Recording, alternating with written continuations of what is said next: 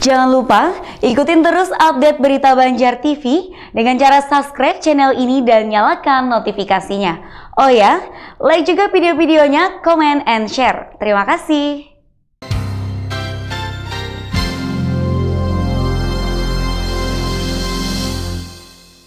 Terima kasih Anda masih bersama kami. Dalam rangka mematangkan persiapan Jalan Haul Abah Guru Sekumpul yang ke-15 tahun 2020, pemerintah Kabupaten Banjar melaksanakan rapat koordinasi yang dihadiri oleh seluruh instansi terkait serta perwakilan keluarga guru sekumpul bertempat di Aula Barakat Martapura.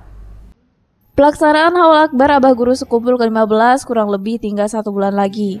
Guna menggalang koordinasi dan sinkronisasi seluruh instansi terkait, Pemkap Banjar menggelar rapat koordinasi yang dipimpin oleh Sekda Banjar M. Hilman dan Dim 1006 Martapura, Letkol ARM Siswa Budiarto, serta Asisten Bidang Kesra dan Pembangunan Haji Masruri.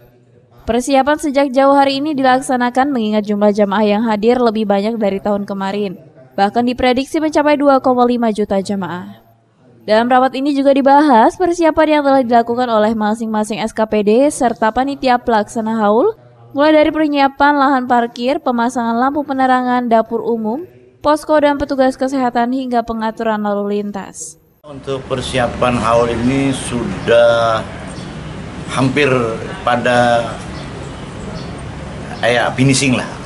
Dan artinya hal-hal yang bersifat teknis itu sudah selesai.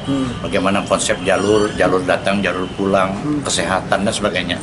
Termasuk hari ini adalah rakor dengan seluruh kegiatan instansi yang dimotori oleh Pemkab Banjar. Hmm. nah ini adalah bagian dari persiapan haul hmm.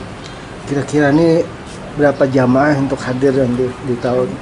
Ya untuk tahun tadi kan kita perakirakan sejuta lima ratus. Jelas itu. Ternyata lebih. Nah untuk akan datang hmm. kita perakirakan 2 juta sampai 2 juta lima ratus jamaah yang akan berhadir. Hmm. haul Nah, oleh karena itulah kita terus siaga hmm. menyiapkan, mengantisipasi segala sesuatunya, baik mengenai teknis, kepulangan, kesehatan, keamanan, termasuk konsumsinya.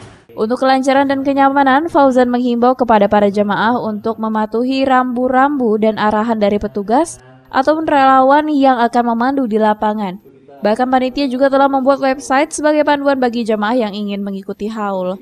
Ahmad Ramadhani, Banjar TV.